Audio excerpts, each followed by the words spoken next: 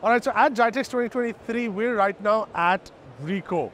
They have some really, really nice products, so come let's check them out. So if you're a small business here in the UAE, one nice thing that Ricoh has for you is their Scan and Snap series.